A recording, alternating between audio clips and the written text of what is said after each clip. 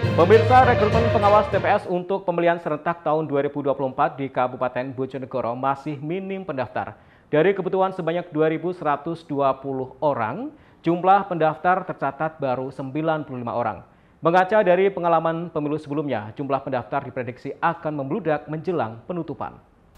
Badan Pengawas Pemilu atau Bawaslu Kabupaten Bojonegoro membuka rekrutmen pengawas tempat pemungutan suara atau PTPS untuk pemilihan serentak tahun 2024. Pelaksanaan rekrutmen dibuka mulai 12 hingga 28 September 2024 mendatang di seluruh kantor Panwaslu Kecamatan di Bojonegoro. Berdasarkan data Bawaslu Bojonegoro yang dihimpun dari laporan seluruh Panwaslu Kecamatan hingga 17 September, tercatat baru ada sebanyak 95 orang yang telah mendaftar sebagai calon pengawas TPS. Di antaranya 15 kecamatan sudah ada pendaftar, sementara 13 kecamatan masih belum ada pendaftar. Berdasarkan jumlah TPS yang ditetapkan oleh KPU Bojonegoro, kebutuhan pengawas TPS di kabupaten setempat adalah sebanyak 2.120 orang.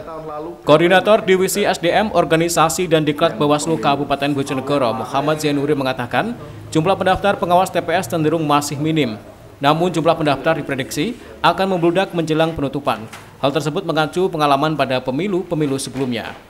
Zainuri menambahkan tugas dan wewenang pengawas TPS mulai dari mengawasi persiapan pemungutan suara, meliputi mengawasi pelaksanaan pemungutan suara, persiapan penghitungan suara, maupun menyampaikan keberatan dalam hal ditemukan dugaan pelanggaran di tingkat TPS, serta menerima salinan berita acara dan sertifikat pemungutan dan penghitungan suara.